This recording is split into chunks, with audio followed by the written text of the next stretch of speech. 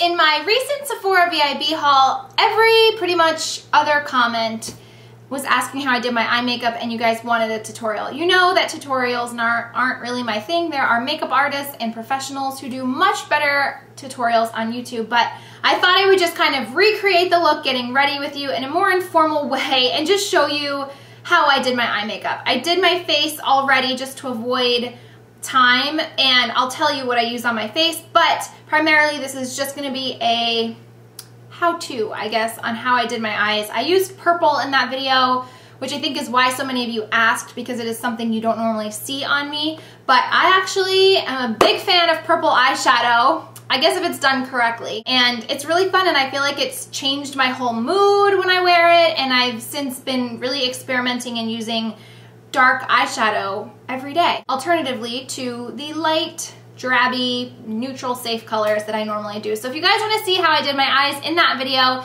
then just keep watching. Okay, so I'm gonna start with the star of the show, which is this IT Cosmetics Naturally Pretty Celebrations palette. I talked all about IT Cosmetics. If you missed that video, I'll link it in the description box below. But in that video, I talked about how much I adore this palette and I've been using every single color especially the dark ones, which is so not like me. Usually when I get a matte or a neutral shadow palette, I stick to the, the safe colors, but recently I've just been so enjoying the dark colors. In that video, the main color I used was this purple, which is Sugar Plum, which looks amazing if you have brown eyes, but I really think purple looks good on anyone, especially green eyes too. Yesterday, I used the Starry Night, which is a really pretty, like, smoky gray navy and I used that in conjunction with coal, which is a black, and it was, I loved it. It was like, I think I'm gonna definitely, I have a holiday party coming up and I'm definitely gonna be using those two together for a really nice nighttime smoky eye that's not your traditional black. I love that. I've really been enjoying this hot cocoa color, the really deep brown, and mixing that up with the spice as well. It's just so fun. But for this video, for this look today, I'm going to stick to purple because that's what you guys have been asking for and that is what I had on in that video. So, just prime my eyes with this little bitty sample from Urban Decay and put this down as my base. The shadows, aside from them being really gorgeous and really soft and blendable, they stay on your face all day long. You don't have to worry about them fading. So if you do have some kind of holiday party or event and you don't want to have to worry about your eyeshadow fading so that you can do your makeup earlier on in the day for a party later on, this is perfect. Starting out with Sugar Plum, which is the purple in the palette, and I'm using a flat brush. This one is the MAC 213, and I'm going to kind of load up my brush, tap off any excess, and just go on the outer half and kind of into that socket line. And then as the color kind of comes off the brush, I'm going to move towards the inner eye a little bit and just deposit a little bit of color with the darkest color you want on the outside. I'm going to do the other side and I kind of find that by doing both eyes kind of at the same time, but only when I'm using dark colors. If I was using light colors, I just do one eye at a time. But when I'm using dark colors, and I want to kind of make sure that the eye look is symmetrical works best. So you can make sure that you're coming in far enough with the dark color and you're not going in too far on one eye and not on the other. It's harder to fix once it's done. So then I'm going to take another brush. This is another um, MAC limited edition palette or brush kit and I'm going to use Warm Wishes which is a really pretty kind of neutrally pink mauvey color and put that on the inner part of my eye and also kind of blend it with the purple on the crease. Keep that inner part of your eye really light and bright. And then join them in the middle. Go back with the purple if you need to. Then I'm going to just take a clean blending brush. This is my favorite one from Bodyography. I don't think they make it anymore. And just blend the edges so that it's soft. I'm not really pulling the color up any further, just blending around. I already did my eye, my, um, not my eye makeup, my face makeup. I already did it just to save time. And it's weird because I usually do my eyes first. You guys know that, just to avoid fallout and messes. But like I said, to save on time. Okay, next we're going in with my favorite color in the palette. I told you in that video is Miracle, and it's this reddish brown, really pretty, almost, almost has a little bit of pink to it. And I'm gonna kind of put this right at the edge of where the purple ends and kind of blend it upwards. So it's kind of right on the brow bone. And this will warm up your brow bone. It'll make it a smoother transition up to the brow. And it actually lifts your eye as well, which is really nice. It makes it look a little bit more open. Okay, and then right underneath the brow, I'm just gonna use Snow Angel, which is the most nude under the brow, just to finish it off. For liner, I'm using a black liner. This is one from Eyeko. It's the I Do Liquid Liner. Think it's what it's called.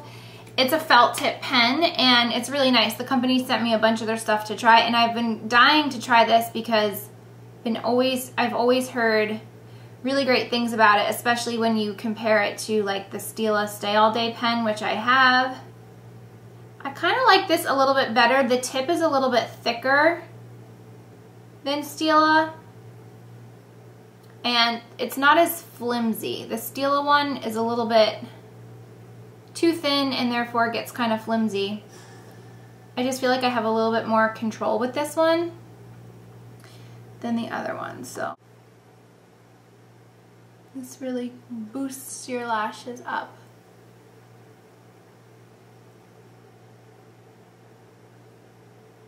And then underneath my eyes, before I put any liner, I'm going to take that Miracle color, the color that I used to blend out, and just put a little bit of that. Right before I filmed this and I was, I took a shower. When I got out of the shower, I tried those Dr. Dennis Gross Alpha Beta pads for the first time. Holy cow, I feel like I almost gave myself like a glycolic peel or something. I liked it though. Here's the Hello Lashes mascara. I really liked it. I just wasn't expecting it. I I was kind of expecting similar to the First Aid Beauty Facial Radiance pads. I had a credit on Rue La La, and I didn't really see anything I liked. That brand was on, and so I thought, what the heck, I'll try it. And I asked on Twitter, and a lot of you recommended his Alpha Beta pads, so I thought this might be kind of cool to see how they compare to the First Aid Beauty ones since I've really been enjoying those. And I really feel like the products are very different. Like the First Aid Beauty ones are more of like an exfoliator, I feel like, whereas these was kind of like, felt like a treatment. The First Aid Beauty pads you can use after each time that you cleanse as like a overall, I kind of sometimes use that in place of my Lush toner. Whereas the Alpha Beta pads, I feel like those are kind of like a once a week treatment for your skin. I feel like if you did it every day, it would probably irritate your skin and dry you out a little bit. But I just wasn't expecting like the tingly, woo, universal brow pencil. Just fill in the spaces.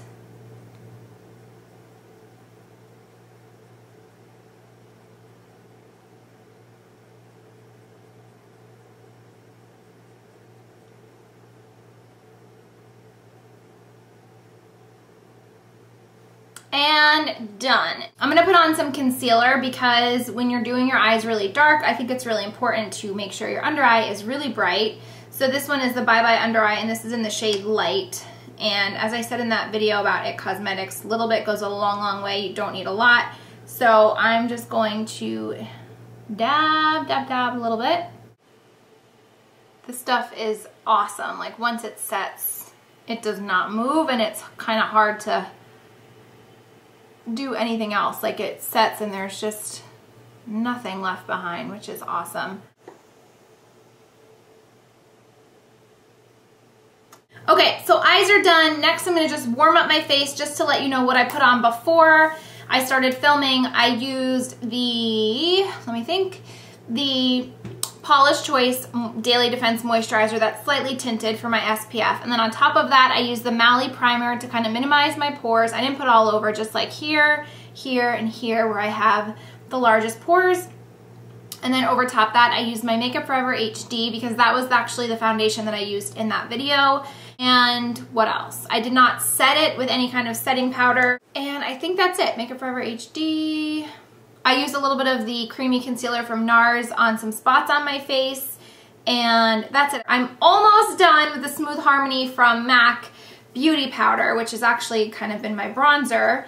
And I'm going to use this to just warm up my cheekbones and overall my face because it's starting to look a little flat since my foundation and concealer went on. This is a NARS Yachiyo brush, which I think is a great bronzer brush when you want like a subtle bronze or a subtle glow on your face. It's not going to put the product down too much. I'm going to use Hourglass's Mood Exposure. In the video, I was using Don't Be Shy from MAC, which is discontinued, so I didn't think it would kind of be fair to show it. This one is really pretty. It's almost like a it's almost like a combination if you took Miracle and Warm Wishes from the palette. Let me just show you side by side. It's kind of like the same similar colors, which is why I wanted to use this. And it's a really pretty color if you want to skip the contour because it's almost like a bronzy rose, like a bronzy pink. So when I do this um, color on my cheeks, I don't put a contour because then it just looks a little bit too intense. I think this is a really pretty color for fall and it goes really nice with the eye makeup that I just did.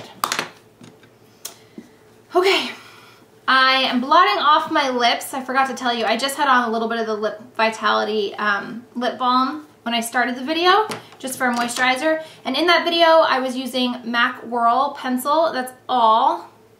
I didn't put any um, lipstick or gloss or anything else like that. I just had the liner, which is a really pretty color and it leaves behind an awesome stain that lasts a good amount of time. This is a pencil, so it can tend to feel drying. I just use a little bit of Aquaphor or balm or something to just kind of moisten my lips if I need to. But hmm, it's state. Not have to worry about it. And as a finishing touch, I've been obsessed with this, which again is so not like me because I'm usually not someone that uses any kind of setting powders, especially like the silica powders or the finishing powders, but this came with a puff and I wasn't really too keen on using it, but I have found a new love for my Sephora Platinum 55 brush. This is actually called the Airbrush brush. And I used to use this for liquid foundation, but I have found that with a finishing powder, such as the Bye Bye Pores from IT Cosmetics, or you could even use the MAC one, I think Makeup Forever makes one, every company has a white translucent finishing powder nowadays. These together, deadly combination. You don't need a lot of it at all. I just swirl a little bit into the cap, which is, look at the powder, you can see that. And go right over your cheeks just to soften the color and the lines. Anywhere you have pores naturally that you want to minimize. And this brush feels wonderful on your skin. It just feels so good. An amazing brush to set your powder. It's awesome. So I hope you guys enjoyed this video. I hope I did you proud and this is exactly what you were looking for. And you are someone that tends to go for the safe colors in a palette that contains some darker ones. I hope that you will reach a little out of your comfort zone. You might actually end up like me and really enjoy using the darker colors. I I kind of love them and I think it's just because I've been so used to just wearing neutrals and light colors and don't get me wrong, I still like those colors. They're still safe. They're still they're still comfortable for me, but I feel like Lately, I'm just really enjoying the color, especially with the holidays and parties and events. I think it's really fun to experiment with darker eyes and it just completely changes your whole look and I feel like your whole mood. So I hope you guys enjoyed this video and you'll give this a try. Thanks so much for getting ready with me and I'll talk to you later. Bye. Every other link you can link a charm onto. You just open up the clasp and slip the charm on. You can rearrange your charms. You can add to your charms. You can take away charms.